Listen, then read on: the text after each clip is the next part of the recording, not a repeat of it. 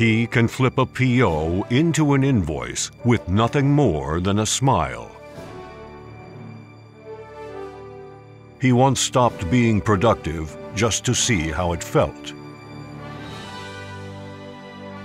He once won the Go-Kart Grand Prix while building the world's first supplier portal.